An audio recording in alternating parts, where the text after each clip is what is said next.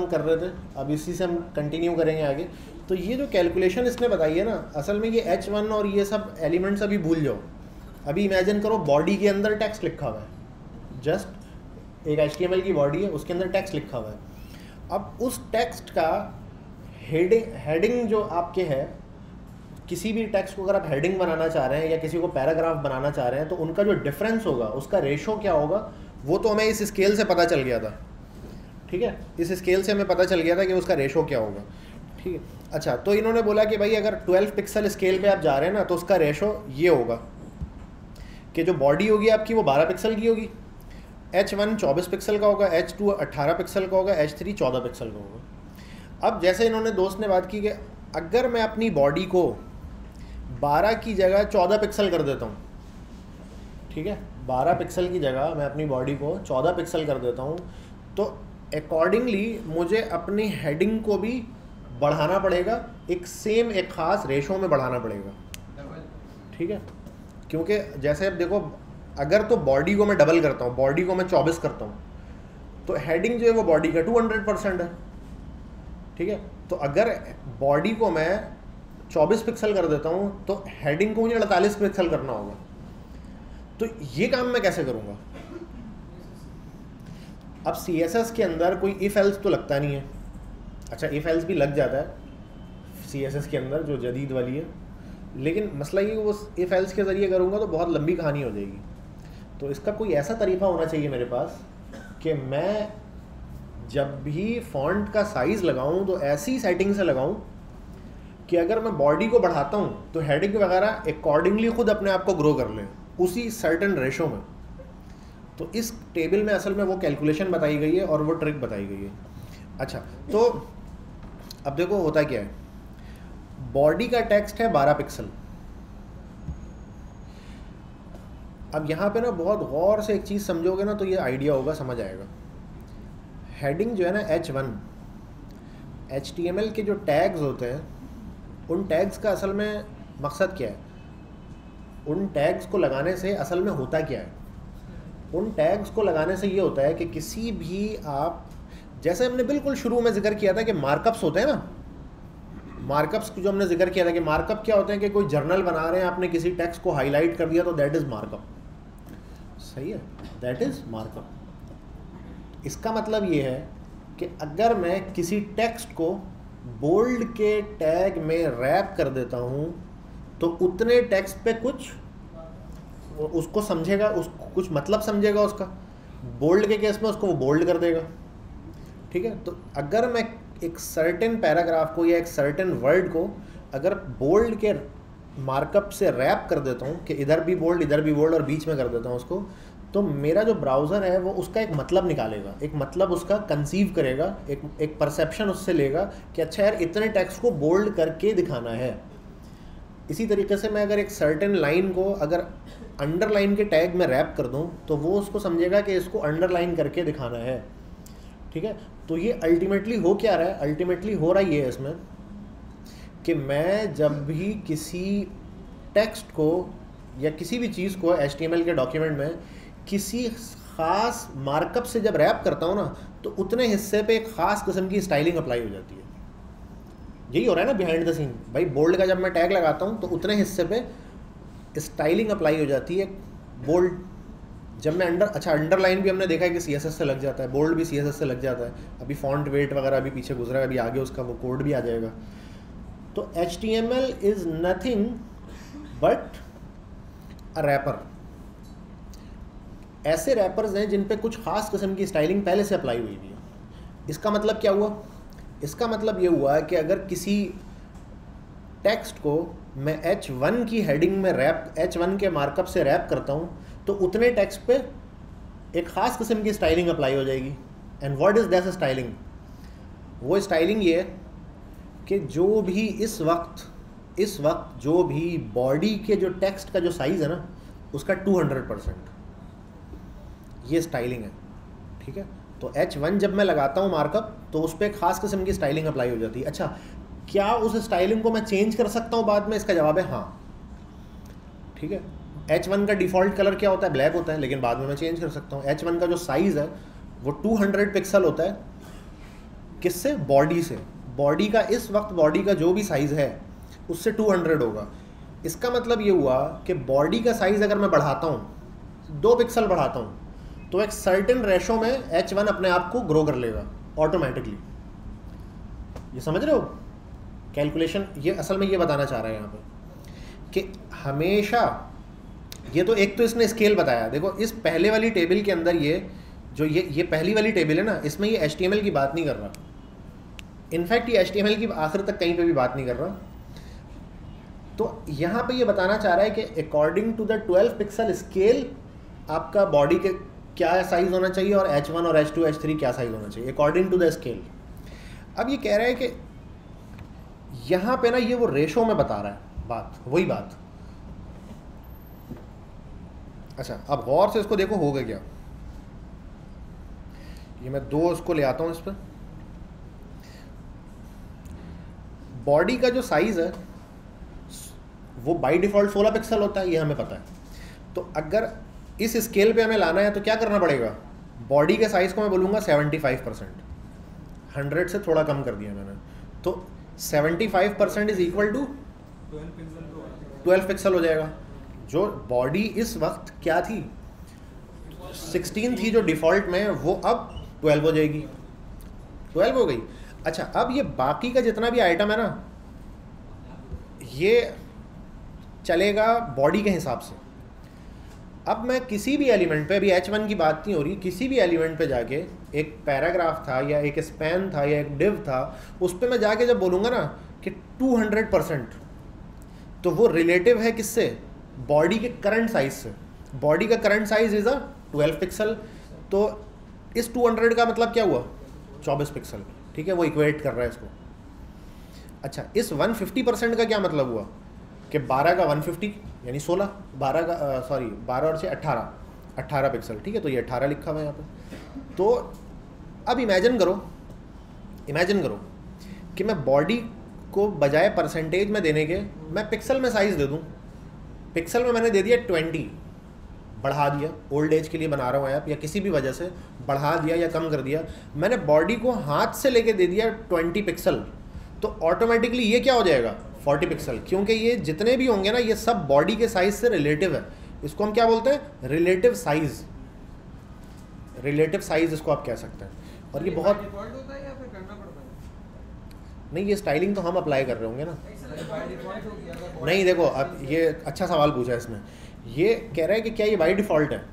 अगर आपने किसी टेक्स्ट को एच वन के रैपर में रैप किया हुआ है ना तो उस पर ये स्टाइलिंग लगी हुई है। ठीक है तो उसमें तो बाई डिफ़ॉल्ट होगा। मैं टेक्स्ट का साइज़ बढ़ाऊँगा बॉडी के टेक्स्ट का। बॉडी के टेक्स्ट का साइज़ बढ़ाऊँगा तो हेडिंग एच वन अपने आप ग्रो करेगा, क्योंकि उस पर यह स्टाइलिंग लगी हुई है। लेकिन इमेजिन अभी हम कह रहे हैं एच वन है ही नहीं। तो हम जो किसी भी टेक्स्ट को बनाएँगे ना, जब हेडिंग तो हम उसको क्या करेंगे किसी डिव में रैप करेंगे, उसका साइज़ 200 परसेंट सेट कर देंगे।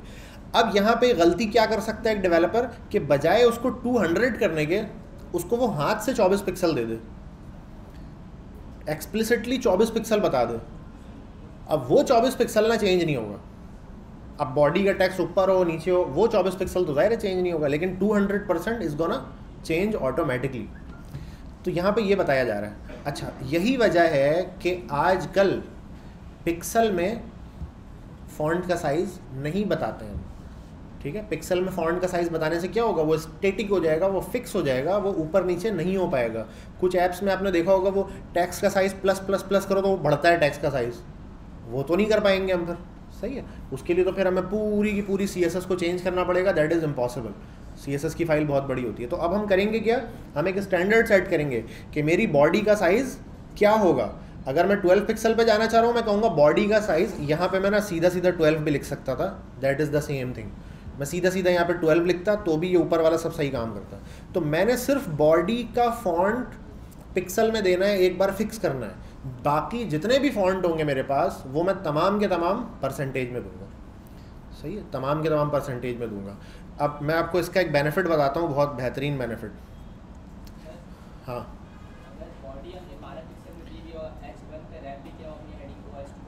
हाँ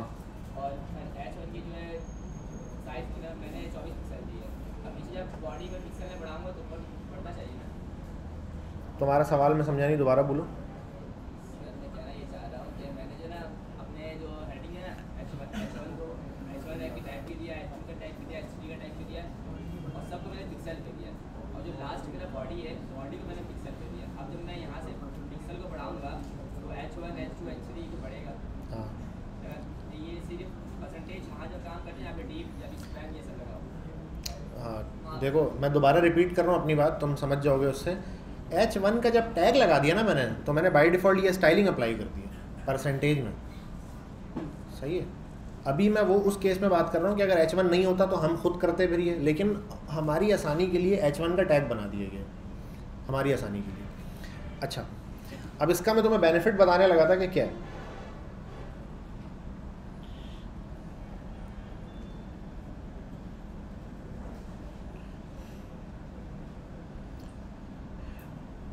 मोबाइल फ़ोन में और डिफरेंट ऑपरेटिंग सिस्टम्स में ये एक ऑप्शन होता है कि आप टेक्स्ट का जो साइज़ है ना, वो बड़ा या छोटा कर सकते हैं। ठीक है? ये देखो, मैं यहाँ पे ये ऑप्शन है, इसको मैंने बड़ा किया, और बड़ा किया, और बड़ा किया। ये फुल बड़ा कर दिया मैंने टेक्स्ट ठीक है? अब जब मैं वापस जाऊँगा ना पीछे सेटिंग में तो देखो टेक्स्ट सेटिंग का जो फॉन्ट था, वो ऑटोमेटिकली इवनली ग्रो हुआ है। मैं वापस जाता हूँ और इसको बिल्कुल छोटा कर देता हूँ। ये इवनली छोटा वो हुआ है। अच्छा इससे होता क्या है कि जितनी भी ऐप्स होती हैं मेरे मोबाइल में इंस्टॉल या जितनी भी वेबसाइट खुलती है, उन सबको ये पता चल रहा होता है कि डिफ़ॉल्ट टेक्स्ट का साइज़ क्या दिखाना है। समझ रहे हो? डिफ़ॉल्ट टेक्स्ट का साइज़ क्या दिखाना है। अच्छा तो आपने अगर ये वाला स्टैंडर्ड फॉलो किया हुआ होगा तो यहाँ पे ना आपकी ऐप बिल्कुल परफेक्टली काम करेगी। इसको मैं वापस से दरमियान में कर देता हूँ, जो कि डिफ़ॉल्ट साइज़ है।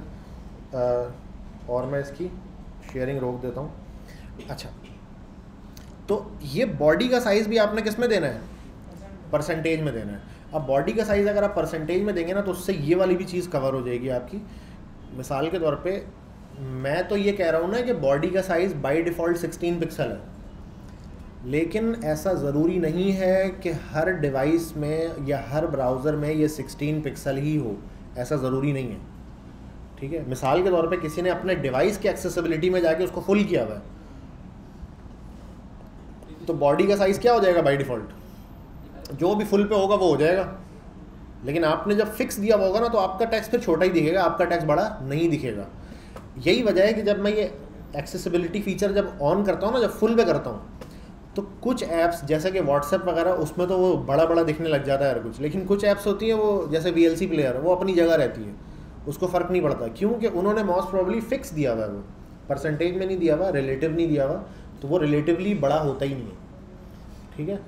तो अच्छा ये जो सारी बातें ना, आपको एक चीज़ मैं मज़े की बताता चलूँ। एच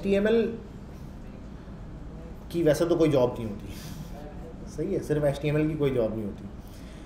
तो आपका कोई स्टैग होता है एटलीस्ट आपको जावा स्क्रिप्ट तक आती हो तो फिर आपको कोई जॉब यानी स्टेटिक वेबसाइट्स वगैरह जो बना रहे होते हैं, उसकी जॉब मिलती है। लेकिन एचटीएमएल की एक जॉब होती है जिसको हम कहते हैं एक्सेसिबिलिटी एचटीएमएल वो डेवलपर से और डिज़ाइनर से दोनों से ज़्यादा पैसे चार्ज करता है। एक्सेसिबिलिटी वाला बंदा जो होता है, या बंदी जो होती है। ठीक है? और वो ये सारी चीज़ें देखना ना उसकी ज़िम्मेदारी होती है। कि एक्सेसिबिलिटी पे क्या ये सही काम कर रहा है या नहीं कर रहा है? अब एक्सेसिबिलिटी में क्या क्या कुछ होता है? मिसाल के तौर पे कोई साइनअप का फॉर्म है तो उस पर जब मैं क्लिक करता हूँ तो क्या मुझे पासवर्ड की सजेशन वहाँ पे आ रही है प्रॉपर ऑटो कंप्लीट का उस पर एट्रीब्यूट लगा हुआ है सही। ऑटो कंप्लीट का एट्रीब्यूट सही लगा हुआ है, गलत लगा हुआ है। ठीक है? जब मैं कहीं पर साइनअप करता हूँ तो मुझे रिमेंबर पासवर्ड का ऑप्शन दे रहा है। ये सारी चीज़ें एक्सेसिबिलिटी और इसके टैग्स और इसके एट्रीब्यूट्स लगाने पड़ते हैं। ये खुद से नहीं हो रहा होता बाई डिफ़ॉल्ट बाई डिफ़ॉल्ट भी हो जाता है समटाइम क्योंकि ब्राउज़र स्मार्ट है, लेकिन एक्चुअली उसमें तमाम एच में वो सारी चीज़ें मौजूद हैं कि एक्सेसिबिलिटी एच में ही होता है ऑब्वियसली असल में तो पीछे तो जावा स्क्रिप्ट ही है, लेकिन उसके एट्रीब्यूट्स बना दिए हैं टैग्स बना दिए हैं आसानी के लिए। समझ रहे हो? असल में तो फॉन्ट स्टाइलिंग की चीज़ है, लेकिन वो टैग्स उसके बना दिए गए ताकि हमारे लिए आसानी हो जाए। क्या? पंखा बंद कर दो, आ जाओ, बंद कर दो। यहाँ पे एफ़ लिखा हुआ होगा ना जिस पर वो पंखे का बटन है। हाँ एफ़ बटन जिस पे लिखा है ना एफ़ एक प्रोजेक्टर का पी वाला बटन होगा, वो नहीं बंद करना।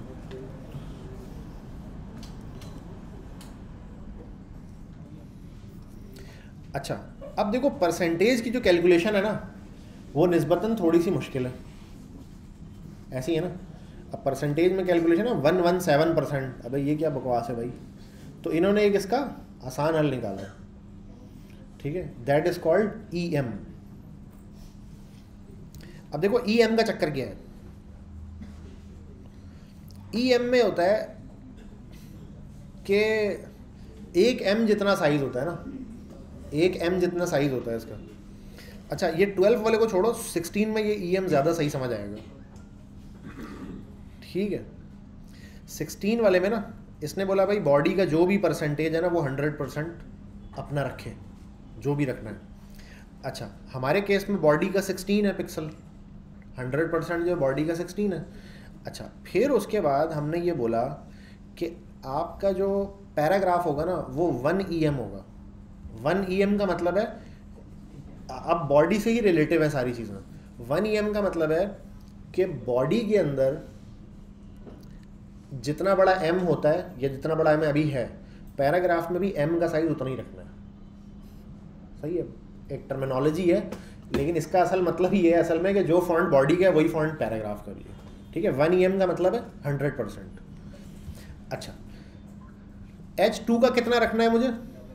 यहाँ पे आके देख लेते हैं। एच टू का मुझे रखना है बत्तीस पिक्सल राइट हाँ एच वन का मुझे बत्तीस पिक्सल रखना है। तो बॉडी हंड्रेड परसेंट तो बॉडी सिक्स सोलह पिक्सल इसका मतलब है two E M two E M का मतलब है कि बॉडी हाँ बत्तीस हो गया ना। सही है ना तो बत्तीस ही तो है एच वन सोलह पिक्सल के सोलह पिक्सल के स्केल में देख रहे हैं अभी हम। तो एच वन बत्तीस है इसमें।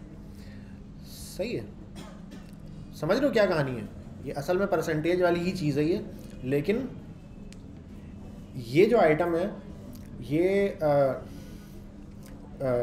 एम के साइज़ के हिसाब से चलता है। क्योंकि परसेंटेज में कहानी पहुँचे ना वन वन सेवन हंड्रेड से ऊपर। तो ये क्या चलता है? ये वन का मतलब है hundred percent. One point five का मतलब है वन फिफ्टी परसेंट।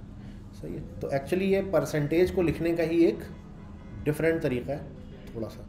अच्छा ई एम में एक दो छोटे छोटे डिफरेंसेस और भी हैं, लेकिन वो अभी मेरे ख्याल डिस्कस करना मुनासिब नहीं होगा। कुछ डेंसिटी से उसका ताल्लुक है। अच्छा तो अभी इन्होंने अकॉर्डिंगली वो किया हुआ है। अच्छा आम तौर पे अब जो अभी वाले जो डिज़ाइनर्स हैं, वो ई एम में भी बना के दे रहे होते हैं कि भाई इसको ना ई एम में ऐसे ऐसे करके करो। और हम भी कोशिश करते हैं एज अ डेवलपर कि ई एम पे हमारा हाथ ज़्यादा सेट हो। ठीक है, किसी चीज़ को थोड़ा बड़ा करना है या थोड़ा छोटा करना है तो हम वो ई एम के हिसाब से देते हैं। अच्छा ई एम में देने से फ़ायदा तो वही है परसेंट वाला ही है कि जब बॉडी का टैक्स बढ़ता है या किसी चीज़ को जूम इन किया जाता है तो क्योंकि वो ई एम में होता है तो बॉडी के अंदर जो एम का साइज़ है ना, उससे रिलेटेड रहता है वो, उससे रिलेटिव रहता है। साथ साथ वो भी ग्रो करता है। ठीक है? तो बेसिक तो फ़ायदा यही है इसका। लेकिन ई एम में अच्छा ई एम के अंदर एक और भी यूनिट होता है ई एम नहीं अभी वो किसी को पता है? एक और आर ई एम सही है? एक ई एम है ना? एक आर ई एम होता है। अब वो ई एम और आर ई एम क्या होता है ये हम फिर किसी दिन डिस्कस करेंगे। वरना भी ये बहुत ज़्यादा लंबी हो जाएगी। सही है? तो ई एम और आर ई एम जो है वो डेंसिटी डेंसिटी से कुछ ताल्लुक होता है इसका। वेल यहाँ पे इन्होंने जो बात लिखी है वो हम देख लेते हैं। E M allow you to change the size of the text relative to the size of text in the parent element ठीक है? Since the default size of the text in web browser is 16 pixel can use similar rule to those uh, shown for percentage.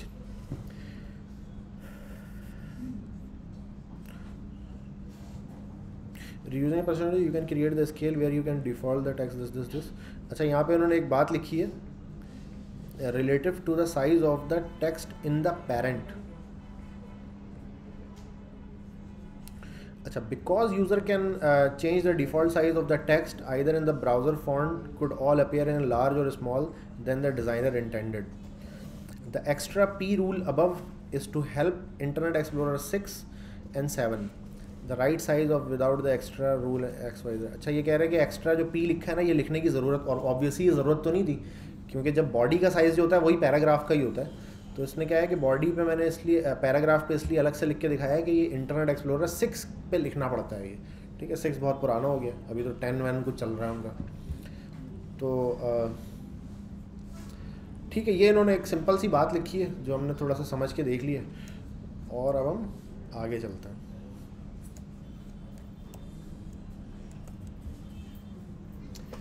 अच्छा।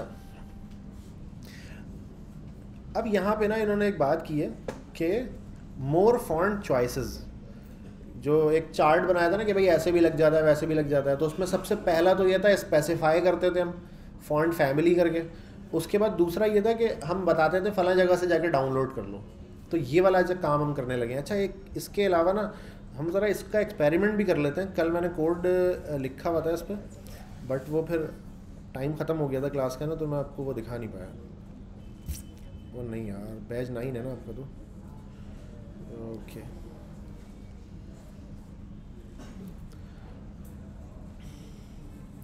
अच्छा ये हम थोड़ा सा ना उसी चीज़ को एक्सपेरिमेंट करके देखते हैं, जो वहाँ पे उन्होंने बताया है।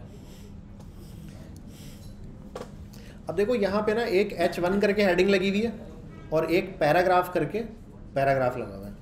सही है? और ये वाला जो दोनों है, ये क्या है? ये जस्ट एक डिव है। ठीक है? हेडिंग विथ एच वन और पैराग्राफ और हेडिंग विथ डिव और डिव अच्छा अब मैंने देखो इस पर स्टाइलिंग क्या लगाई है?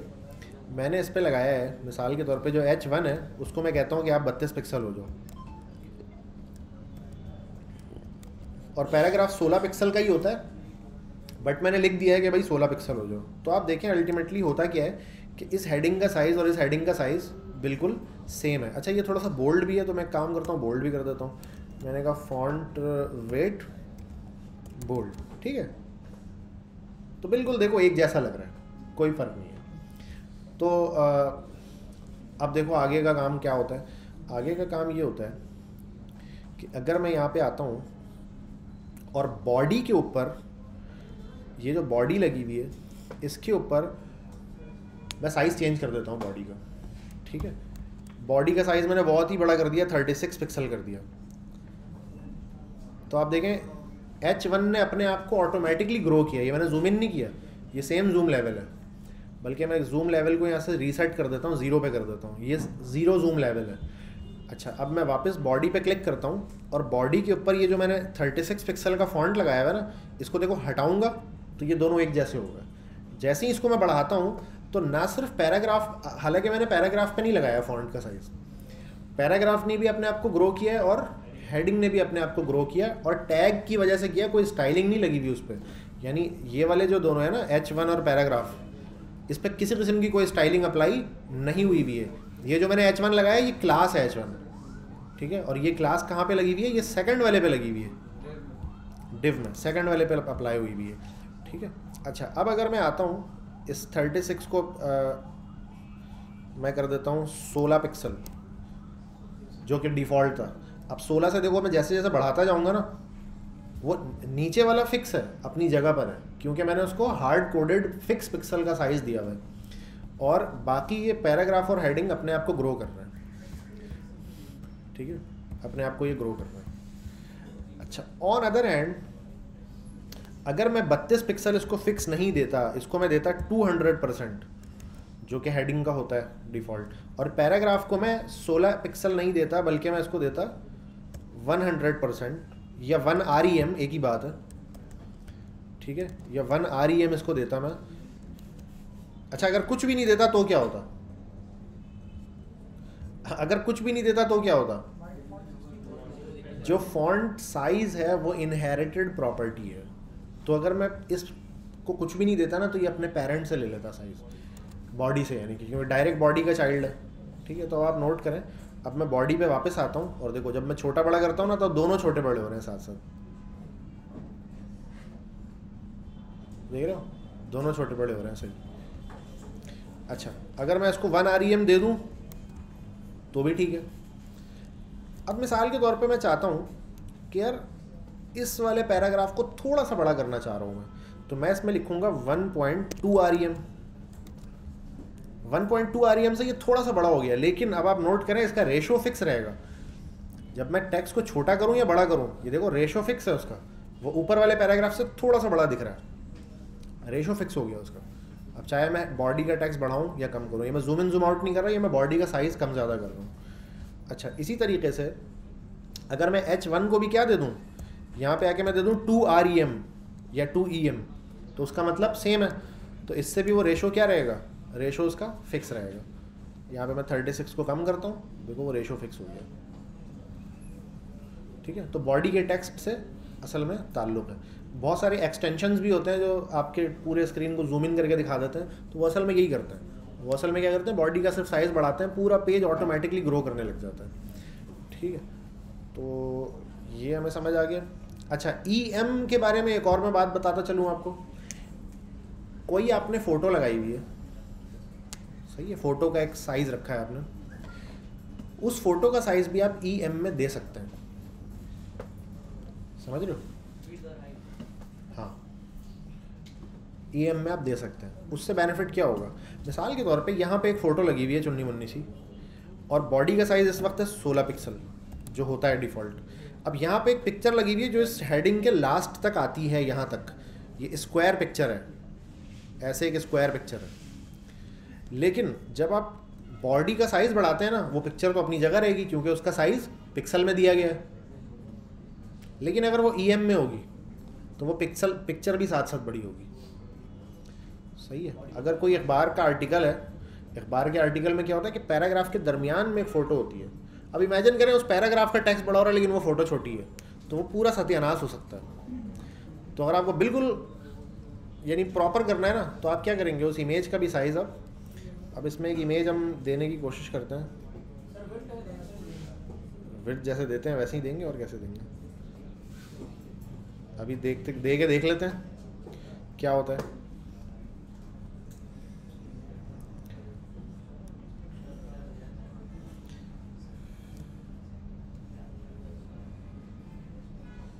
ये मेरे पास आ गई कार की इमेज राइट और यहाँ पे मैं इस आई को लगा देता हूँ। और मैंने कहा कि भाई डॉट स्लैश और कार डॉट जेपैड अभी तो ये कार की इमेज बहुत ही बड़ी दिख रही है। तो मैंने उसको बोला कि भाई विड्थ आपकी क्या हो जाए? 200 पिक्सल हो जाए। सही है? अब देखो, इसकी कार की विड्थ 200 पिक्सल हो गई। अब मैं बॉडी का जब टैक्स चेंज करता हूँ ना तो टेक्स्ट छोटा हो रहा है, लेकिन पिक्चर अपनी जगह है। देख लो टेक्स्ट बड़ा हो रहा है पिक्चर अपनी जगह है। अब मैं क्या करता हूँ, इसकी विर्थ पिक्सल की जगह ई e में देता हूँ। लेकिन क्या मैं इसको 200 ई एम दूँगा? नहीं। टू ई एम कैसे? 200 पिक्सल को अगर मुझे ई एम में लिखना है तो मैं कैसे लिखूँगा? कौन बता सकता है? One E M is equal to what अरे नहीं हंड्रेड परसेंट नहीं। पिक्सल में कितने? Sixteen pixel one E M E M जो होता है, वन ई एम वो उसका साइज़ क्या होता है कि एम का size is called E M body में जो भी इस वक्त फॉन्ट का साइज़ है, उसमें वन एम जो है, एक एम का साइज़ जो है, वो वन ई एम है। तो मोस्ट प्रॉब्ली सोलह पिक्सल के अराउंड कुछ। ठीक है? तो अब टू हंड्रेड मुझे लगाना है। अब सोलह सोलह करके कितनी दफ़ा करूँगा तो टू हंड्रेड होगा। मैंने कहा कि कैलकुलेट कर लेते हैं, मेरी मैथ इतनी अच्छी नहीं है तो यहाँ पे करते हैं। मैंने कहा सोलह। ट्वेल्व पॉइंट फाइव अगर मैं लगाता हूँ ई एम हाँ? मुझे ट्वेल्व पॉइंट फाइव लगा। दो सौ पिक्सल है ना, और डिवाइड करूँगा इसको मैं सोलह से तो ट्वेल्व पॉइंट फाइव ही आ रहा है। सही है तो ट्वेल्व पॉइंट फाइव जब मैं लगाऊँगा और यहाँ पे मैं रिफ़्रेश करूँगा। यार, ये क्या हुआ? नहीं, इसको मैं असल में वो करके दे देता हूँ क्लास करके। या एट्रीब्यूट में इसको शायद समझ नहीं आ रहा।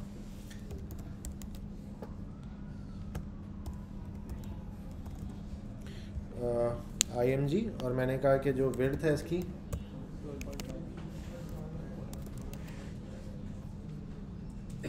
सही है। वो एट्रीब्यूट में ना उसको वो समझ नहीं आ रहा शायद। तो ये आ गई यहाँ पे। अब देखो मैं बॉडी का क्या करता हूँ? साइज़ चेंज करता हूँ तो इमेज साथ साथ छोटी हो रही है। सही है? तो ये वाली कहानी है भाई। तो इसीलिए इसको ना डेंसिटी इंडिपेंडेंट कहते हैं। अब डेंसिटी इंडिपेंडेंट क्या होता है? वो हम छोड़ देते हैं लेकिन फ़िलहाल। सही है मतलब चीज़ यही है, लेकिन एक इसकी एक्सप्लेनेशन है। वो एक्सप्लेनेशन में अभी अगर बताऊँगा ना तो मिक्स हो जाएगा वो। तो मैं चाहता हूँ अभी तक, अभी इतना ही बताएँ फिर एक पॉइंट आगे आएगा जहाँ पे हम डेंसिटी को डिस्कस करेंगे। ठीक है? जो हमारा था ना seventy two pixel per inch that was density ठीक है? तो अब अगर अब सौ पिक्सल की इमेज है तो वो फोर हंड्रेड पी की स्क्रीन पे भी सौ पिक्सल की दिखती है और 72 टू में भी 100 पिक्सल की दिखती है। तो हाउ इज़ दैट सही है? तो अब ये डेंसिटी का एक चक्कर है और जो बहुत गंभीर चक्कर है। लेकिन खुशकस्मती से ये डेंसिटी वाले सारे मसले एचटीएमएल और सीएसएस लेवल पे हैंडल किए जा चुके हैं ऑपरेटिंग सिस्टम के लेवल पे हैंडल किए जा चुके हैं। तो हमें इतना सोचना नहीं होता बट हमें चीज़ें पता होनी चाहिए। ठीक है जी।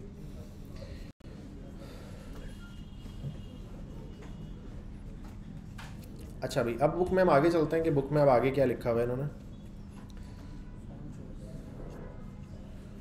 मोर फॉन्ट चॉइसेस हम देख रहे थे। अच्छा अब आपने अगर कहीं, जैसे कैलिब्री की हम लास्ट क्लास में बात कर रहे थे कि मैक मशीन जो होती है, उसमें कैलिब्री फॉन्ट पहले से मौजूद नहीं होता है। ये हंड्रेड परसेंट हमने वेरीफाई भी कर लिया था उसको, चला के देखा था। वही सेम वेबसाइट दूसरे कंप्यूटर में चलती थी जिसमें कैलिब्री है तो वो नज़र आता था। नहीं है तो नज़र नहीं आता था। तो तो अब कैलिब्री फॉन्ट नहीं है, लेकिन मुझे लगाना है। और मैंने कहीं से वो कैलिब्री फॉन्ट ख़रीद भी लिया और मुझे लाइसेंस भी मिल गया उसका। अब उसको मैं सीएसएस के ज़रिए कैसे अप्लाई करूँगा? उसकी कोडिंग हम चेक कर रहे हैं अभी। तो ये उसकी ये उसका कोड है। तो आ जाते हैं। अच्छा हमारे पास एक बड़ा फ़ेमस प्रोवाइडर है गूगल फॉन्ट तो मैं इसका नाम रखता हूँ सेवन गूगल फॉन्ट ठीक है, इसका एक अलग फोल्डर मैंने बना दिया गूगल फॉन्ट और मैं इस गूगल फॉन्ट के फोल्डर में एक index dot H T M L बना देता हूँ और इसके अंदर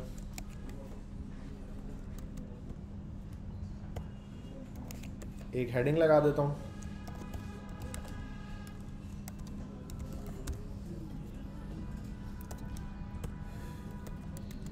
सही है।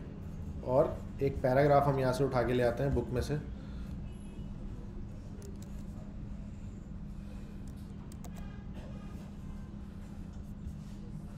एक पैराग्राफ मैंने ये बुक में से उठा लिया। सही एक पैराग्राफ शायद और उठा लेते हैं। दो पैराग्राफ उठा लेते हैं।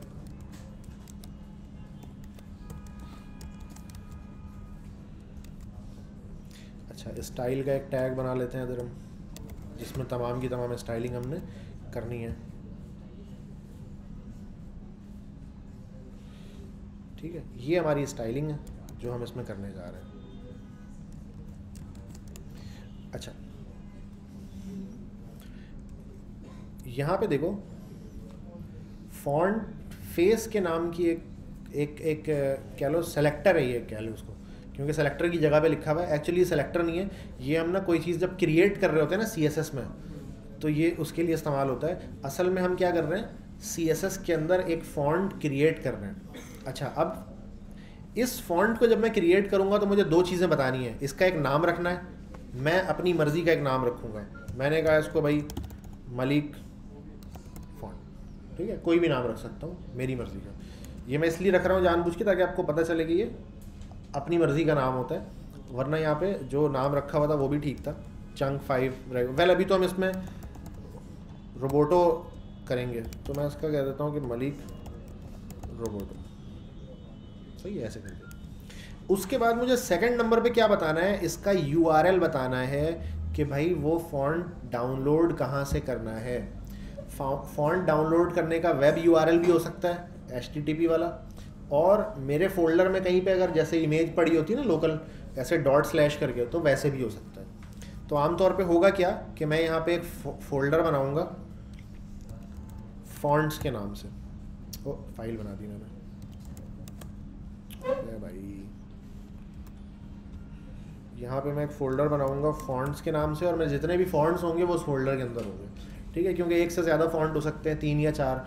अच्छा एक ही फॉन्ट चार अलग अलग फॉर्मेट में हो सकता है मेरे पास। तो फॉन्ट की फ़ाइल ना दस, बारह, पंद्रह तक हो सकती है। तो इसलिए उसको हम रूट पे नहीं रखते, एक अलग फोल्डर बना देते हैं उसका। अच्छा तो मैंने कहा कि भाई फॉन्ट्स स्लैश और Roboto dot E O T अब ये ई ओ टी तो इन्होंने लिख दिया ना अभी और कौन कौन से फॉर्मेट होते हैं वो हम देखते हैं। वेल well, तो चलते हैं ज़रा गूगल फॉन्ट पे और वहाँ से रोबोटो फॉन्ट हम उठा के लाते हैं जो गूगल ने बनाया है। और आ, क्या बात है यार।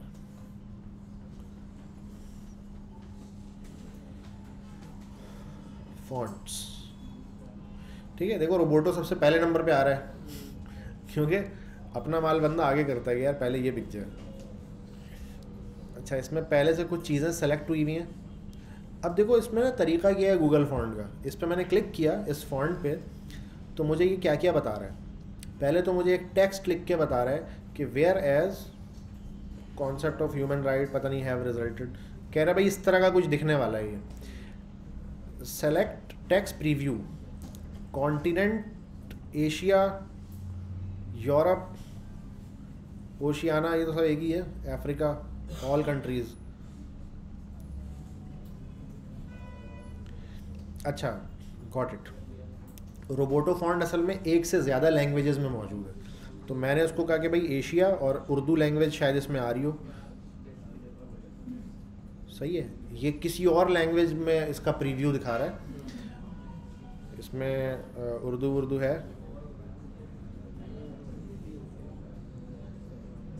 M N O P P में नहीं है। वो मुस्लिम कैट ये क्या चीज़ है? ये भी कोई ज़ुबान है? उर्दू उर्दू तो नहीं है भाई इसमें। ठीक है, लेकिन काफ़ी सारी लैंग्वेजेस हैं। एज़ यू कैन सी ये वाला फॉन्ट जो है वो तमाम लैंग्वेजेस में जो यहाँ पे लिस्टेड है, मौजूद है। अच्छा अब यहाँ पे ना आपको उस चीज़ की प्रैक्टिकल एग्जांपल मिलेगी जो मैं बता रहा था ना कि टाइप फेसेस अलग अलग होते हैं। मिसाल के तौर पे ये जो फॉन्ट ये एच लिखा हुआ है ना, ये एच ऑब्वियसली इंग्लिश के लिए अलग बनाया गया है। फिर इटैलिक बोल्ड ये एच सिर्फ़ एक लेटर जो एच है और इंग्लिश के अंदर, इसके कितनी फाइल्स होंगी अलग अलग या कितने अलग अलग इमेजेस होंगी? या पीएनजी इमेज होती है most probably back behind the scene में तो ये पीएनजी या एसवीजी इमेज होती है। तो एक होगा नॉर्मल एच कैपिटल लेटर का और एक होगा नॉर्मल एच स्मॉल लेटर का। ये मैं एक प्रोबेबिलिटी बता रहा हूँ, हो सकता है इससे कहीं ज़्यादा हो। दूसरा अब होगा एक बोल्ड एच कैपिटल का। और एक बोल्ड होगा स्मॉल का। अच्छा बोल्ड के फिर तीन लेवल हैं कम से कम। सही है जो वेट है ना फॉन्ट का, वो three hundred six hundred seven hundred eight hundred सही है eight hundred is black bold के भी बाद होता है ये। तो अब ये दो दो का पेयर ना उतनी दफ़ा होगा। तो तकरीबन आठ से दस फ़ाइल होगी सिर्फ़ इस एच की। एक फॉन्ट फेस के अंदर। अब इन्होंने जितनी डिफरेंट लैंग्वेजेस में बनाई है तो उससे मल्टीप्लाई कर लो तो काफ़ी सारी चीज़ें हैं। अच्छा तो इसका मतलब है इस फॉन्ट का जो फ़ाइल होगी, वो तो बहुत हैवी हो जाएगी। अब हमें इतने सारी चीज़ों की ज़रूरत नहीं है। हमें चाहिए सिर्फ़ इंग्लिश और हमें चाहिए सिर्फ़ बोल्ड और नॉर्मल और इटैलिक हमें वो ब्लैक तक नहीं चाहिए अगर। अब हम क्या करें? तो यहाँ पे वो बता रहे हैं। इन्होंने असल में क्या किया? इसको चंक्स में बना दिए। इसकी एक फ़ाइल की जगह ना, एक फ़ाइल क्योंकि बहुत हैवी हो रही थी तो बीस पच्चीस अलग अलग फ़ाइलें बना दी अब ये मुझसे पूछेगा, आपको क्या चाहिए? जब मैं सेलेक्ट करूँगा, मुझे वही वही फाइलें देगा ये। सही है? नोट करना आप। अब ये मुझसे कह रहा है कि रेगुलर एक थिन है एक लाइट है रेगुलर ये देख लो नंबर बता रहा है। One hundred is called thin ये वेट है इसका वन हंड्रेड जब मैं सी एस एस में वेट दूँगा ना वन हंड्रेड तो it is gonna be thin अच्छा अगर इमेजिन करो मैंने टू हंड्रेड दे दिया जो कि यहाँ मौजूद नहीं है तो वो क्या करेगा? वो वन हंड्रेड पे फॉल बैक करेगा। अगर, या वन हंड्रेड होगा या थ्री हंड्रेड होगा। टू हंड्रेड लगा तो देंगे एरर नहीं आएगा सीएसएस में, लेकिन टू हंड्रेड है नहीं। तो वो या तो फॉल बैक वन पे होगा, या तो थ्री पे होगा, वो देखेंगे किस पे होगा। आई एम नॉट श्योर कि वो किस पे जाएगा। लेकिन फॉन्ट के फेसेस जो हैं, उसमें 200 वेट वाला फेस है ही नहीं तो 200 वो लगेगा ही नहीं। जैसे मैंने ज़िक्र किया, अगर मिसाल के तौर पर मैं सिर्फ़ थिन उठाऊँ 100 ठीक है तो वो बाई डिफ़ॉल्ट जब डिस्प्ले होगा ना तो मैं बोल्ड लगाऊँ थिन लगाऊँ, जो मर्ज़ी करूँ, वो हिलेगा नहीं अपनी जगह, क्योंकि है ही एक, है ना, हिलेगा ही नहीं अपनी जगह से वो। तो ये वाला चक्कर है। अच्छा इटैलिक पे चेक लगा दिया मैंने कि भाई थिन भी हो जाए इटैलिक भी हो जाए। तो देखो प्रीव्यू भी नीचे चेंज हुआ। ये वैसे तो प्रीव्यू है, लेकिन इससे हम दूसरी चीज़ कंक्लूड कर रहे हैं कि अच्छा यार, ये कहानी यहाँ पे ऐसे चल रही है। ठीक है, अब स्टाइल्स यहाँ पे ना ये अलग अलग साइजेस और अलग अलग करके ना ऐसे आप चेक कर सकते हैं कि किस साइज़ पे क्या दिखता है, कितना दिखता है। सही है। तो अभी इसको जूम इन तो नहीं, ज़्यादा मैंने कर दिया अच्छा नहीं। बस ये यहीं तक है। तो इसमें आपको ये दो चीज़ दिखा रहे हैं। एक थिन थिन में ये 21 पिक्सल का 16 पिक्सल का, अड़तालीस पिक्सल का और छत्तीस पिक्सल का प्रीव्यू आपको दिख गया थिन का। तो हम क्या करते हैं? थिन को ऐड कर लेते हैं कि हमें ये चाहिए। कैसे ऐड करेंगे? नीचे आया। हमने कहा कि थिन का 100 जो है ना, मुझे चाहिए। इटैलिक को ऐड नहीं किया अभी मैंने। इटैलिक नीचे ये रहा। मैंने कहा मुझे ये भी चाहिए। फिर मैंने कहा कि ये वाला 100 था, ये 300 का भी मुझे चाहिए नॉर्मल फिर 300 का इटैलिक भी मुझे चाहिए। 400 मुझे नहीं चाहिए, मिसाल के तौर पे। सही है। मुझे चाहिए अब डायरेक्ट 800 अच्छा 8 है नहीं, इसमें 9 है। तो चलो 700 700 का सीधा वाला और 700 का इटैलिक वाला। ये मैंने सारे सेलेक्ट कर लिए। ठीक है? और मैं इसको ऐसे करके भी देख सकता हूँ कि ये मतलब थिन होगा और 53 पिक्सल पे ये दिखेगा कैसा। मैं खुद का कोई टेक्स्ट लिख के दे सकता हूँ this is my custom text कि ये दिखेगा कैसा। और मैंने कहा कि भाई 16 पिक्सल पे करो इसको। ये 16 पिक्सल पे कुछ इस तरह का दिखेगा। सही है तो काफ़ी सोफिस्टिकेटेड किस्म का इन्होंने एक स्टोर बनाया हुआ है, जहाँ पे फॉन्ट अवेलेबल हैं। इनके खुद के जो है वो फ्री में और कुछ शायद एक दो पेड भी होंगे आई एम नॉट श्योर जब ये सारी चीज़ें मैंने सेलेक्ट कर ली, मुझे जो जो चाहिए था, उसके बाद मैं डाउनलोड फैमिली का बटन जब दबाऊँगा ना तो ये क्या कर देगा मुझे? एक जिप फ़ाइल डाउनलोड करके दे देगा। देख रहे हो? एक जिप फ़ाइल मुझे इसने डाउनलोड कर दी, जिसके अंदर ये क्या आ गया मेरे पास? वो सारी अलग अलग फाइल्स आ गई। हाँ? हाँ ना, हमने सेलेक्ट किया था ना। देखो हमने कौन कौन सा सेलेक्ट किया था? हमने कहा था रोबोटो थिन और रोबोटो थिन इटैलिक फिर रेगुलर रेगुलर का इटैलिक नहीं सेलेक्ट किया हमने शायद। रेगुलर का इटैलिक नहीं किया हमने। देखो नहीं है अब यहाँ पे। तो रेगुलर अगर मैंने किया हुआ, मैं इटैलिक करूँगा, नहीं होगा। या हो शायद हो जाए, उसको नीचे ले आए फॉल बैक पे। ये शायद इटैलिक करते ही वो रेगुलर की जगह थिन हो जाए। कुछ होगा मतलब। अभी वो करके देखेंगे। तो इससे हमें पता ये चला है कि हम जितने भी फॉन्ट देख रहे होते हैं ना आड़ा टेढ़ा ऊपर नीचे वो तमाम वो, वो ऐसा नहीं होता कि एक ही इमेज को उसने कर्व कर दिया और टेढ़ा कर दिया ऐसा नहीं होता। वो एक्चुअल में एक अलग फ़ोटो होती है एक अलग फ़ोटो होती है जो P N G S V G format में और वो हमें नज़र आ रही होती है। हाँ तो बस वो यही होता है। अच्छा ऐसा ज़रूरी नहीं है कि इसको अलग अलग फ़ाइलों में रखा जाता है। एक फ़ाइल में भी हो सकता है ये। मैं इसी कोई असल में ये क्या होती है, ये सिंपल फाइल्स होती है टेक्स्ट फ़ाइल होती है एक्चुअली ये। सॉरी टेक्स्ट फ़ाइल कह रहा हूँ, ये जिप फ़ाइल होती है। काइंड ऑफ़ जिप फ़ाइल होती है। तो इसको मैं ओपन करके इसको मर्ज कर दूँ मर्ज हो जाएगा। यहाँ पे मुझे प्रीव्यू भी दिखा रहा है। देखो, इस, मेरे ऑपरेटिंग सिस्टम को ना समझ आ रहा है कि ये फ़ाइल कौन सी है। मेरे ऑपरेटिंग सिस्टम को समझ आ रहा है। अच्छा अगर मैं डबल क्लिक करके वैसे ही उसको ओपन कर दूँ तो ये मुझे देखो कहाँ खोल दिया इसने। जो लास्ट में दिखाया था ना फॉन्ट्स करके एक होता है कंट्रोल पैनल में। वहाँ खोल दिया और इस पर बटन आ रहा है इंस्टॉल अगर मैं इंस्टॉल कर दूँगा तो मेरी मशीन में ये परमानेंटली इंस्टॉल हो जाएगा। ठीक है? मेरी मशीन में जब कोई भी वेबसाइट खुलेगी तो लेकिन मसला ये है कि मेरी मशीन में मैंने इंस्टॉल नहीं करना। क्योंकि जब मेरा यूज़र खोलेगा तो उसके मशीन में तो नहीं होगा ये। या तो मैं उसको इंस्ट्रक्शन दूँ कि ऐसे जाओ डाउनलोड करो सेव करो इंस्टॉल करो। दैट इज़ वेरी मतलब दिन में दस वेबसाइट खोल रहा है बंदा तो हर वेबसाइट के लिए इतना लंबा प्रोसीजर कोई भी नहीं करने वाला। तो इसलिए मैं बजाय इसको इंस्टॉल करने के कैंसिल कैंसिल मैं इसको उठा के अपने कंप्यूटर में रखूँगा अपनी वेबसाइट में रखूँगा, उस फॉन्ट के फोल्डर में। और लाइसेंस भी इसका देखो मुझे साथ में दिया इसने, कि भाई लाइसेंस भी ले जाओ आप साथ में। तो मैंने इसको सबको कॉपी किया लाइसेंस समेत, और इसको मैं उठा के यहाँ से ले जाऊँगा अपने फॉन्ट के फोल्डर के अंदर, और यहाँ पे ले जाके उसको पेस्ट कर दूँगा। हाँ? क्या कह रहे हो? बोलो ना। फॉन्ट स्लैश और थिन से शुरू करते हैं। थिन ठीक है, और थिन के अलावा मेरे पास क्या है? रोबोटो थिन थिन का इटैलिक आ गया। सही है, ऐसी सीक्वेंस में लिखूँगा ताकि मुझे पता चलता रहे। अच्छा अब चलो इमेजिन करो कि थिन ही रखा हमने सिर्फ़। अभी हमने बोल्ड वगैरह ऐड ही नहीं किया। अब मैं किसी भी हेडिंग पे जाके यहाँ पे मैं लिख सकता हूँ कि आप क्या बन जाओ आप। आप बन जाओ मलिक डैश रोबोटो सही है?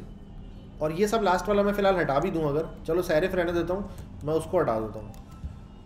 ठीक है? क्योंकि मुझे पता है अभी तो ऐड हुआ हुआ है। अच्छा मैं ये सैरिफ स्टिल लगाऊँगा इसमें, क्योंकि सम टाइम मे भी ये फेल हो जाए। मे बी तो इसलिए सैरफ तो मुझे लास्ट में रखना है स्टैक पूरा करने के लिए। और इसी फैमिली का कोई एक जेनरिक आगे एक और भी रखूँगा जो हर कंप्यूटर में इंस्टॉल होता है। ठीक है, यानी सैरफ का एक फॉन्ट जैसे एरियल लगा दूँगा मैं यहाँ। नहीं सैरफ में एरियल नहीं होता सैरफ में टाइम्स होता है ना। सही है, ऐसे करके लगा दूँगा टाइम्स अच्छा तो मलिक रोबोटो अभी अप्लाई हुआ या नहीं हुआ, ज़रा इसको जाके हम चेक कर लेते हैं। एच वन और एच टू पर मैंने ये अप्लाई किया एच टू नहीं है, लेकिन दोनों पे अप्लाई हुआ हुआ एक्चुअली वो। ओके मुझे बुक चाहिए यहाँ पे, उसके बाद चाहिए कोड उसके बाद चाहिए रिज़ल्ट ऐसे चाहिए मुझे। और इसको मैं रोकता हूँ लाइव सर्वर को और दोबारा से रन करता हूँ।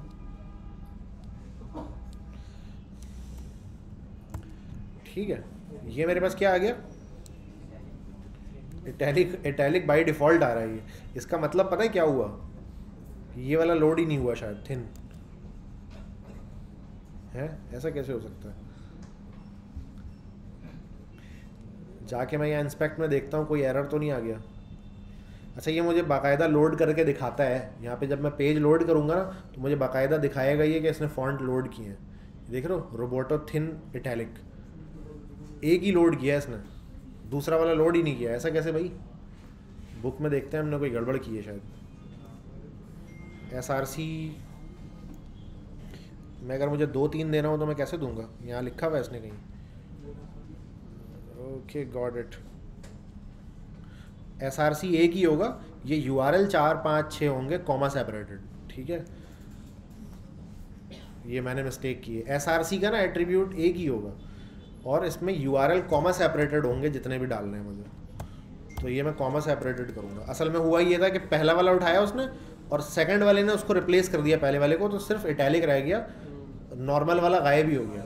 तो आपने देखा कि सिर्फ़ इटैलिक था तो बाई डिफ़ॉल्ट इटैलिक आ रहा है वो। उसको मैं सीधा कर ही नहीं सकता, क्योंकि है ही नहीं सीधा वाला। इटैलिक ही मौजूद है। अच्छा तो अब मेरे पास थिन है और थिन इटैलिक है। आ जाओ भाई, अब ये सीधा हो गया।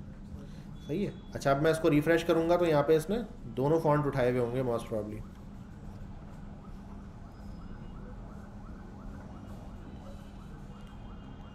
अच्छा यहाँ पे शो अभी भी एक ही हो रहा है। दोनों नहीं शो हो रहे वेल. हाँ नहीं नहीं, वो बर मतलब वो दोनों लोड हो गए एक्चुअली हुआ ये, दोनों लोड हो गए। अब मैं अगर इस एच वन पे आके बोलता हूँ कि फॉन्ट वेट और जो थिन है वो वन हंड्रेड है। मैंने कहा, भाई, तू सिक्स हंड्रेड हो जा। लेकिन ये सिक्स हंड्रेड नहीं होगा, क्योंकि सिक्स हंड्रेड वाला फॉन्ट फेस मैंने जो क्रिएट किया उसमें मैंने बताया ही नहीं है।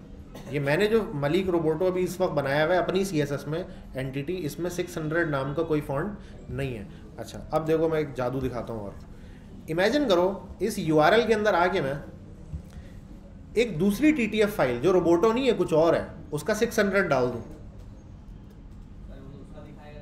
तो जैसे ही मैं इसको 600 करूँगा ना तो वो दूसरा फॉन्ट आ जाएगा। समझ रहे हो? ये मैं डिफरेंट डिफरेंट पॉसिबिलिटीज़ इसलिए बता रहा हूँ ताकि अच्छी तरह समझ आ जाए कहानी चल के आ रही है।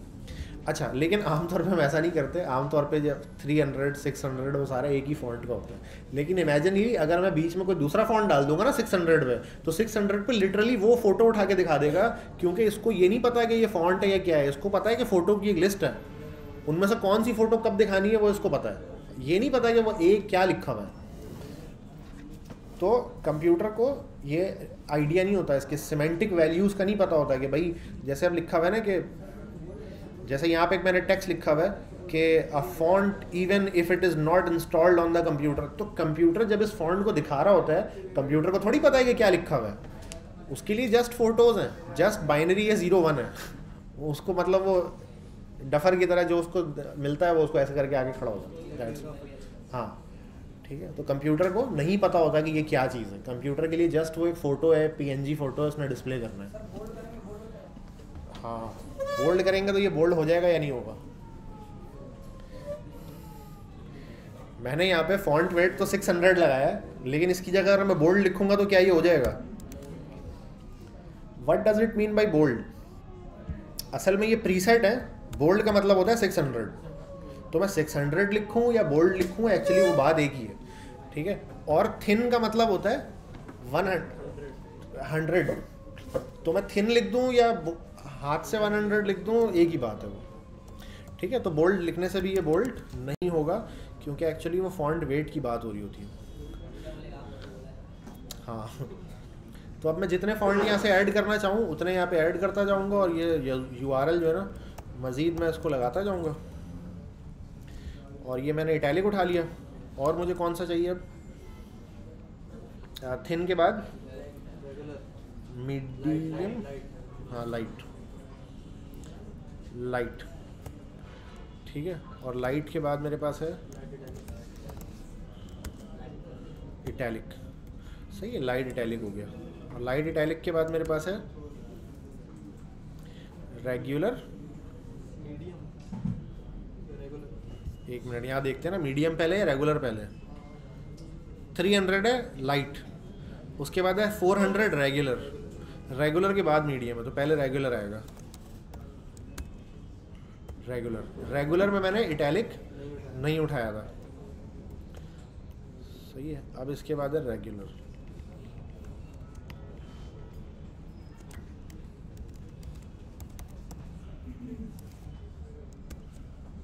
रेगुलर और रेगुलर में मैंने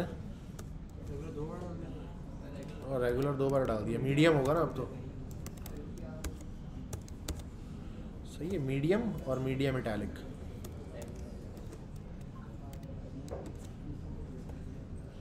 सही है।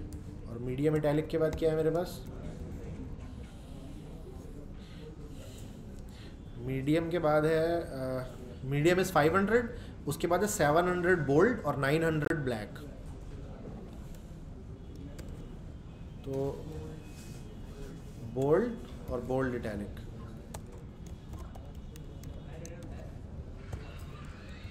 सही है।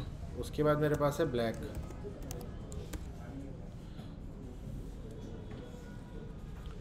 सही है ब्लैक और ब्लैक इटैलिक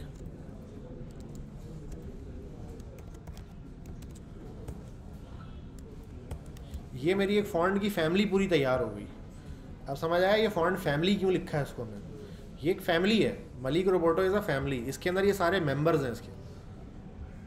तो आ, अब इसको जब मैं अप्लाई करूँगा ना कहीं पर भी तो इन सारे जो वेट्स में से ना कुछ ना कुछ ये पकड़ रहा होगा। अब अगर मैं जाके देखता हूँ अपने पेज पे तो आप देखें कि क्या हो चुका है। ये बोल्ड हो चुका है क्योंकि बोल्ड इसमें मौजूद है। ठीक है? बोल्ड ये रहा बोल्ड बोल्ड मौजूद था तो बोल्ड हो गया। अब मैं बोल्ड के साथ इटैलिक भी लगाऊँगा तो हो जाएगा। मैंने कहा फॉन्ट स्टाइल इटैलिक तो ये इटैलिक भी हो जाएगा। सही है इटैलिक भी हो गया। अच्छा अब मैं कोई ऐसा फॉन्ट लगाता हूँ, जैसे कि रेगुलर जिसमें इटैलिक मौजूद नहीं है। तो मैं इसमें रेगुलर लिख देता हूँ। रेगुलर इसमें है भी कि नहीं है? रेगुलर नहीं है इसमें। प्रीसेट जो सी एस एस का है, उसमें रेगुलर नज़र नहीं आ रहा मुझे। ठीक है? रेगुलर क्या था नंबर उसका? देख लेते हैं यहाँ से। रेगुलर था फोर हंड्रेड तो मैंने कहा भाई फोर हंड्रेड ताकि ये रेगुलर वाले को पकड़े। और साथ में मैंने इटैलिक भी बोला है तो क्या इसको इटैलिक हो जाना चाहिए? नहीं होना चाहिए। सही है? नहीं, हो गया यार इटैलिक ये। ओके गॉड इट अगर इटैलिक हटाऊँगा मैं तो भी ये फोर हंड्रेड है। ये चक्कर है यार?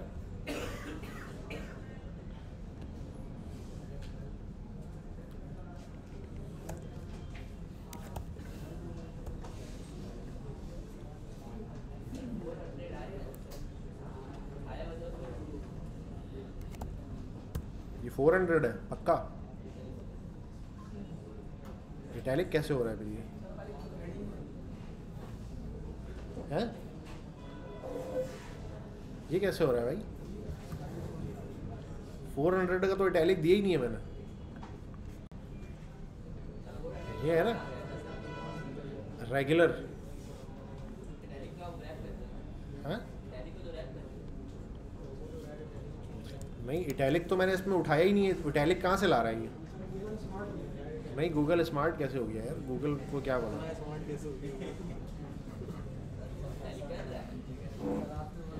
इटैलिक तो नहीं करना चाहिए इसको। वेल वो कुछ जुगाड़ लगा रहा है, कुछ कर रहा है, पता नहीं।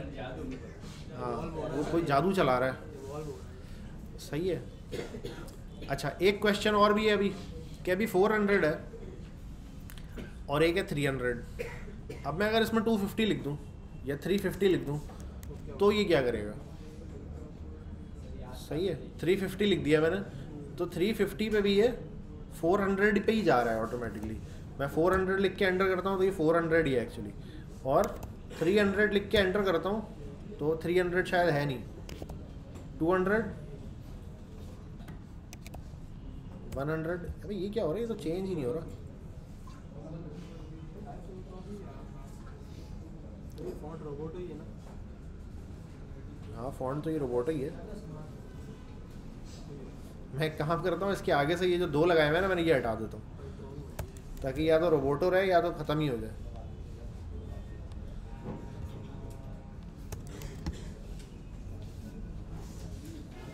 हाँ भाई। अच्छा नहीं रोबोटो नहीं है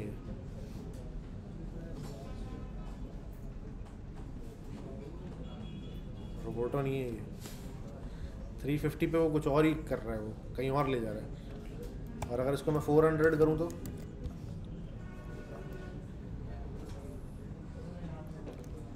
वो रोबोटो को हटा रहा हूँ और लगा रहा हूँ ना तो उससे कोई फ़र्क नहीं पड़ रहा।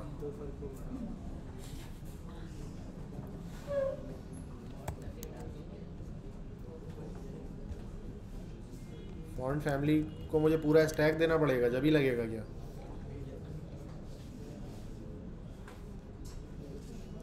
पूरा स्टैक देना पड़ेगा उसको मुझे।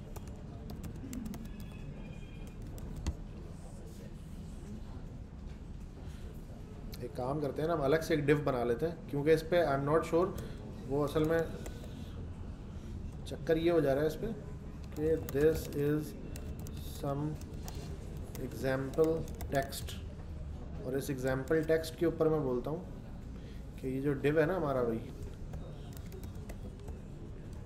इसको मैंने एच वन के इक्वल करना है। तो मैं फॉन्ट साइज़ क्या दे दूँ इसका? हाँ भाई बताओ। टू आर ई एम सही है। सही है। तो अब ये नीचे एक हेडिंग जितनी चीज़ मैंने एक और बना ली। और साथ में इसको मैं क्या बोल देता हूँ? कि अब आप हो जाओ फॉन्ट फैमिली ये हो जाओ।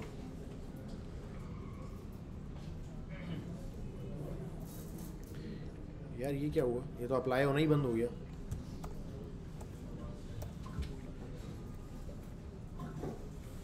स्पेलिंग भी सही है सब कुछ सही है। क्या पता ये सर ये आपके लैपटॉप में नहीं है नहीं। नहीं ये लोड हो गया ना फॉन्ट असल में ये मुझे लग रहा है उनने इसके साथ बहुत ज़्यादा मस्ती कर ली है। अब ये कह रहा है बस मैं खिलौना नहीं हूँ मेरे से खेल रहे हो। अच्छा। क्या है बाय डिफ़ॉल्ट जो उस जैसे ही हो ये कभी चेंज फील नहीं कर रहा रिव्यू में अबे नहीं भाई, ये रोबोटो बिल्कुल ही गायब हो गया। रोबोटो तो ऐसा है, बगैर वो वाला है, बगैर चोंच वाला, ये तो चोंच वाला फॉन्ट आ रहा है।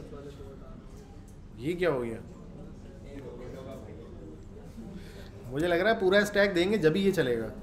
तो मैंने कहा टाइम्स कॉमन यार, ये तो अभी भी नहीं चल रहा। ये क्या हो गया इसके साथ? भूत चढ़ गया इसको।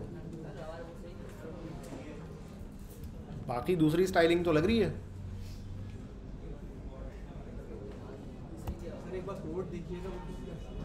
हाँ। मुझे लग रहा है कोड में ही हमने कोई गड़बड़ की है। फॉर्मेट वगैरह भी लिखा हुआ है इधर कुछ समझ पता नहीं क्या है। मैं इसका नाम भी चेंज कर देता हूँ थोड़ा सा। मैं कहता हूँ मलिक रोबोटो जो है ना वो एक जै- एक साथ हो जाए।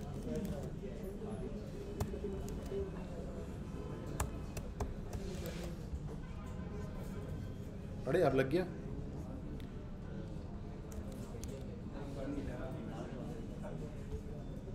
मैंने क्या ऐसा किया जिससे ये लगा? है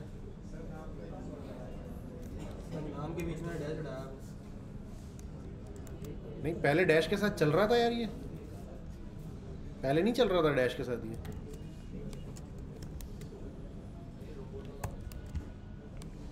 ये मैंने एक एक्स्ट्रा यहाँ पे ना सेमी कॉलन लगा दिया था जिसकी वजह से नहीं चल रहा था ये।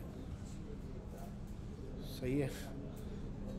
तो ये सी एस एस कह रहा है कि भाई do not use empty rule sets अच्छा एम टी रूल सेट भी इसको नहीं चाहिए। अगर मैं इसको पूरे को हटाऊँगा तो भी ये सेट हो जाएगा। यार, लग गया अभी। अच्छा अब लग गया ना? अब दोबारा वो वाला एक्सपेरिमेंट करते हैं। क्या एक्सपेरिमेंट था हमारा? ये four hundred font weight four hundred और अच्छा फोर हंड्रेड नहीं, इसने पकड़ा। ये क्या सीन हुआ भाई?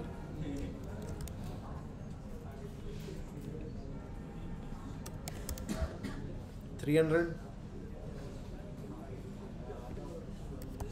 six hundred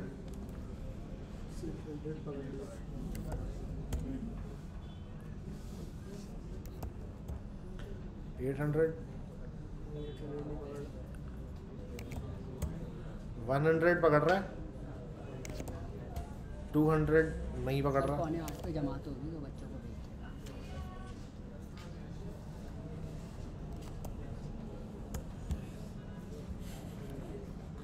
क्या हो रहा है?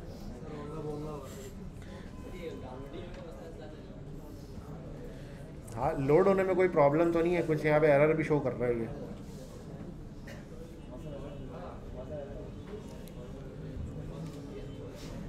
नहीं यार लोड होने में कोई प्रॉब्लम नहीं है इसको। मैंने कहा एम टी केशे और हार्ड रीलोड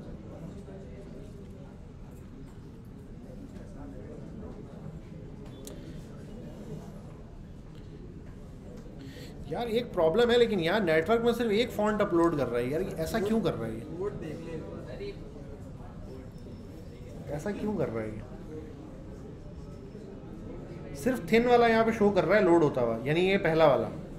इसके आगे कोई शो ही नहीं कर रहा है यहाँ पे कि लोड हो भी रहा है कि नहीं हो रहा?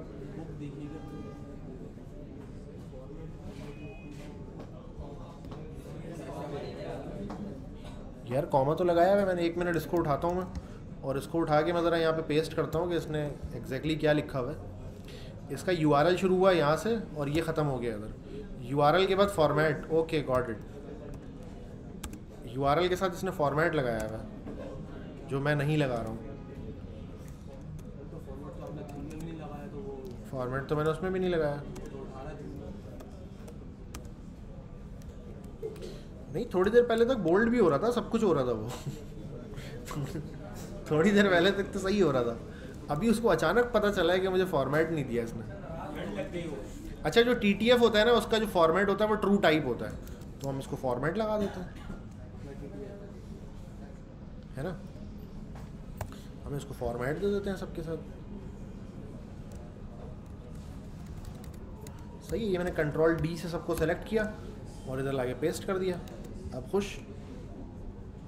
नहीं। अभी भी जब मैं रीलोड करता हूँ तो यहाँ सिर्फ़ एक फॉन्ट लोड होता है। बाकी के फॉन्ट लोड नहीं होते।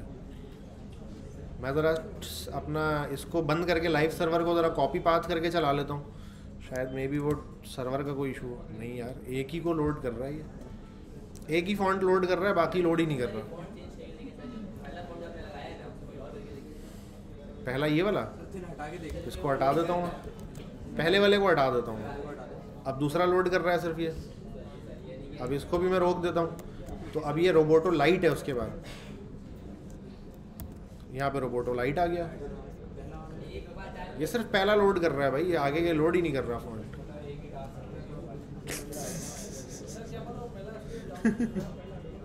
पता नहीं क्या सीन है भाई। अच्छा।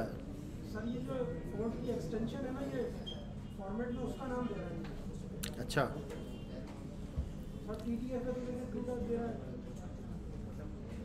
अच्छा खैर तो ये तो एक चीज़ हो गई।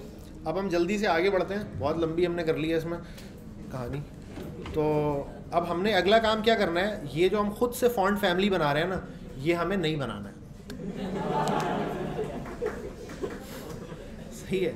हमें क्या करना है? ये एक कोड लिख कर देते हैं यार साइड में। वो लगा देते हैं इज़्ज़त से। ये तो डाउनलोड का बटन दबा दिया ना मैंने। अच्छा यहाँ पे देखो कोने पे क्या लिखा हुआ रहा है? व्यू सेलेक्टेड फैमिलीज़ कि जो अभी तक आपने सेलेक्ट कर लिया ना, वो यहाँ पे देख लो अब ये सारी सेलेक्ट की हुई है हमने, और यहाँ पे चुन्ना मुन्ना सा इसने कोड लिख के दे दिया है कि भाई आप ना ये वाला कोड क्या कर लो आप? कॉपी कर लो ऐसे, और वहाँ पे जाके उसको चपका दो। और जब कोड लिखना है आपने तो ऐसे करके लिखना है। सही है? तो ये मैंने कॉपी किया, और ये ले जाके मैंने कहाँ रख दिया? इन सबको इन सबको मैंने रोक दिया इस सब का कोई काम नहीं है। ये मैंने मतलब बता दिया चलो सही है। सही है। इन सब का कोई काम नहीं है। आपने सीधा सीधा जाके आ, इस स्टाइल से पहले लगा देता हूँ एक्चुअली ये मैंने क्या लगा दिया? एक दो और तीन। तीन स्टाइल इस पर अप्लाई कर दिया मैंने। अच्छा ये जो थर्ड वाला स्टाइल है ना, इसको आप देखो गौर से कि क्या बता रहा है ये स्टाइल में ना। इसमें कह रहा है भाई, इसमें ये कह रहा है H T T P S colon fonts dot Google A P I dot com C S S two family equals to Roboto italic और वेट कौन कौन से आपने उठाया वो। और एंड में डिस्प्ले इक्वल्स टू स्वाप करके ना इसने ये बता दिया। अब देखो, अगर मैं ये यू आर एल उठा के ना डायरेक्ट अगर ये यूआरएल उठा के अगर मैं डायरेक्ट यहाँ पे लिखता हूँ ब्राउज़र में अपने जाके। ठीक है? कि इससे स्टाइल शीट जो आती है, वो स्टाइल शीट तो मैं देखूँ, उसमें है क्या लिखा हुआ? तो वो कुछ इस तरह से स्टाइल शीट लिखी हुई है। अच्छा हम जो गलती कर रहे थे, वो ये थी कि हमें फॉन्ट फेस के अलग अलग करके बनाना था। सब में रोबोटो लिखा हुआ होता और साथ में स्टाइल इटैलिक होता। और फॉन्ट वेट इसका हंड्रेड है। और डिस्प्ले स्वाप है और अब ये यूआरएल होगा वो हम असल में बहुत ज़्यादा शॉर्टकट मार रहे थे। हाँ हमने ये फॉन्ट फेस एक एक फेस अलग अलग बताना था हमने। हाँ हमने ये ये इन्होंने बनाया हुआ है ना एक एक फेस अलग अलग बनाना था हमें। हम बहुत ज़्यादा शॉर्टकट मार रहे थे इसलिए वो एक ही सोर्स उठाता था बाकी छोड़ देता था। ठीक है जी। फैमिली का नाम तो सेम ही होगा ना। फैमिली का नाम तो एक ही हो क्योंकि एक ही फैमिली में वो चीज़ें ऐड होती जा रही हैं। तो ये पूरा का पूरा स्टाइल शीट है जो इन्होंने लिखा हुआ है। ये मेहनत आपको करनी थी, वो उन्होंने कर दी। और हमने क्या करना है अब जाके? इसको मैं हटा देता हूँ ऐसे क्योंकि गलत कोड है तो इसको रखना नहीं चाहिए। अच्छा अब मैंने क्या करना है, ये मलिक रोबोटो हटा के ना, सिर्फ़ रोबोटो लिख दूँगा यहाँ में और ये चलना शुरू हो जाएगा। ठीक है, ये चलना शुरू हो गया। अब इसको मैं बोलूँगा 300, 400, 500 ये चलेगा। मैंने कहा 600 ये चल गया 600 पे। मैं इसको बोलूँगा 100 ये 100 हो गया। और मैं वापस इसको 400 करूँगा ये 4 हो गया। अब मैं इसको ये मैंने डिफ पे अप्लाई किया मैं अब मैं इसको बोलूँगा कि भाई आपका जो स्टाइल है वो फॉन्ट स्टाइल हाँ ये सब पे चलेगा। फॉन्ट स्टाइल इटैलिक तो ये इटैलिक हो गया। सही है इसको मैं 600 करूँगा इटैलिक तो ये अब जो जो मैंने सेलेक्ट किया होगा, वो वो चल रहा होगा। ये वेट है फॉन्ट का। बोल्डनेस नहीं अभी ये प्रॉपर जो टर्म है ना दैट इज़ कॉल्ड वेट तो हम प्रॉपर टर्म बोलेंगे अब, आज से जो भी बात करेंगे हम। ठीक है भाई, अब इसका एक डाउन साइड सुन लो क्या है। इसका डाउन साइड ये है, क्योंकि हर दफ़ा ये इंटरनेट से इसको डाउनलोड करेगा तो आपका जो पेज लोड होगा ना, ये उसको स्लो डाउन करेगा। सही है? तो जो हमने पहले कोड लिखा था, वो बेहतर कोड था। अगर तो आप इस स्टाइल शीट को डाउनलोड कर लें और डाउनलोड करके अपने पास सेव करके उसको अटैच करें that would be a much better option लेकिन आइडियल केस यही होना चाहिए कि आपके पास तमाम फ़ॉन्ट डाउनलोडेड हो, सब कुछ आपकी वेबसाइट के अंदर हो, आपके सर्वर के अंदर हो। इमेजिन करें कभी गूगल फॉन्ट का सर्वर डाउन हो गया। ठीक है? वैसे तो हमारी खुद की वेबसाइट भी गूगल ही होस्ट हुई हुई है। तो अगर गूगल डाउन होगा तो मेरी वेबसाइट भी नहीं खुलेगी। लेकिन जस्ट इन केस ये टीयर डिपेंडेंसी की बात है। ठीक है? कि ज़रूरी थोड़ी है मैं आज मैंने गूगल पे किया तो हमेशा गूगल पे करूँ। कल को हो सकता है अमेजोन पे कर दूँ। लेकिन इंटरनल कोडिंग थोड़ी चेंज कर सकता हूँ मैं रन टाइम पर तो मैं कोशिश ये करूँगा कि ये तमाम चीज़ें जो हैं, वो मेरे ही वेबसाइट के फोल्डर में हों। ना कि उसको हर दफ़ा इंटरनेट से डाउनलोड करना पड़े। ताकि कहीं पे भी चली जाए मेरी वेबसाइट एक तो वो डिपेंडेंसी ना हो उसकी किसी दूसरे सर्वर पे, और दूसरी बात कि तमाम की तमाम चीज़ें ना मेरे फोल्डर में हो। इमेजिन करें, कल को गूगल ने ये फॉन्ट ही डिसकंटिन्यू कर दिया। तो फिर भी मेरे पास ये बंद नहीं होगा चलना, क्योंकि मेरे पास वो फ़ाइल सेव हुई भी एक्चुअली जी। बट सर आपने स्टार्टिंग के अंदर बताया था कि अगर आपके पास कोई फ़ाइल है, जैसे लास्ट क्लास के अंदर आपने दिखाया था एग्ज़ाम्पल कि आपके कंप्यूटर के अंदर कोई फ़ाइल डाउनलोड है वो मेरे पास नहीं है तो मतलब क्या मतलब उसका होगा नहीं नहीं तो वो वेबसाइट के फोल्डर में है ना तो जो भी वेबसाइट खोलेगा उसके बाद चल जाएगा वो। नहीं अभी आपने बोला ना कि अगर वेबसाइट के थ्रू डायरेक्ट अगर नहीं करते क्योंकि वहाँ पे जो है स्लो हो गया या फिर डिसकंटिन्यू हो गया तो ये कि ज़्यादा बेटर वो है कि अगर आप फ़ाइल डाउनलोड करके उसको अटैच करो। तो अगर वो फाइल्स मेरे पास ना हुई तो वो फॉन्ट दिखाएगा? नहीं दिखाएगा ना एक्चुअली वो। डिफ़ॉल्ट कर देगा। डिफ़ॉल्ट कर देगा उसको। देखो असल में तुम्हारा मैं सवाल समझ गया हूँ। एक बात पहले तो गौर से समझ लो कि ये जो वेबसाइट को स्लो डाउन करेगा ना ये खुलते हुए वो ज़िंदगी में सिर्फ़ एक दफ़ा करेगा जब वो वेबसाइट पहली बार खुलेगी। वंस वो पहली बार वो वेबसाइट खुल गई अब जब दोबारा जब वो खुलेगी तो ये केशे में आ चुका होता है। कोई भी चीज़ दोबारा लोड नहीं होती वो केशे में आ जाती है ब्राउज़र के। तो पहली बात तो ये लेकिन मसला ये कि first impression is the last impression आपने गूगल सर्च पे किसी ने जाके लिखा हाउ टू मेक पिज़्ज़ा और सामने रिज़ल्ट आया। अब वो वेबसाइट पहली बार ही खोलेगा ना यार। पहली बार में अगर उसने लोडिंग लिया ना तो फ़ौरन बैक करेगा वो और अगले रिज़ल्ट पे जाएगा। समझ रहे हो? तो पहली बार वाला ही गेम असल गेम है। सेकंड टाइम तो अगर वो आ गया ना तो इसका मतलब है आपने तो उसको एक्वायर कर लिया यूज़र को। उसको अर्न कर लिया आपने ना उस यूज़र को। भाई यूट्यूब डॉट कॉम पर जाते हो ना, रोज़ खोलते हो तो इसका मतलब है यूट्यूब ने आपको ख़रीद लिया, आपको अर्न कर लिया। इसको बाकायदा इसकी एक टर्म होती है कस्टमर एक्विजिशन प्राइस कि भाई, एक पेप्सी की बोतल अगर आप ख़रीद रहे हो ना तो कंपनी ने कितने पैसे दे के आपको मजबूर किया कि आप वो ख़रीदो? यानी एडवर्टिजमेंट वगैरह करते हैं ना जो, कि भाई, मिसाल के तौर पे अगर 10 करोड़ की एडवर्टिजमेंट करते हैं तो उससे सेल कितनी होती है? तो वो पर कस्टमर ना एक सर्टेन अमाउंट आता है कि यार पेप्सी के लिए कराची में कस्टमर एक्विजिशन प्राइस सौ रुपये है। कि एक बंदे पे सौ रुपये की मार्केटिंग करता है तो वो पेप्सी ले लेता है। किसी दूसरे शहर में शायद इससे कम या इससे ज़्यादा हो। अमेरिका के अंदर अगर पेप्सी वाले मार्केटिंग करेंगे तो उनकी कस्टमर एक्विजिशन शायद सौ रुपये नहीं, शायद पंद्रह हज़ार तक भी पहुँच जाए। क्योंकि अमेरिका में कोक चलता है। कोक वालों ने एक्वायर किया हुआ है वहाँ के लोगों को। तो उनसे छीन के एक्वायर करने में बहुत ज़्यादा पैसे लगेंगे। ठीक है तो कस्टमर एक्विजिशन असल में तो दूसरी बार तो अगर वो आ गया ना तो इसका मतलब है आपने तो एक्वायर कर लिया ना कस्टमर को। तो वो एक्विजिशन प्राइस है असल में ये। पहली दफ़ा में जल्दी वेबसाइट को खोलना इज़ एक्विजिशन प्राइस तो ये सिर्फ़ पहली दफ़ा होगा दूसरी दफ़ा नहीं होगा। दूसरी बात हाँ। है।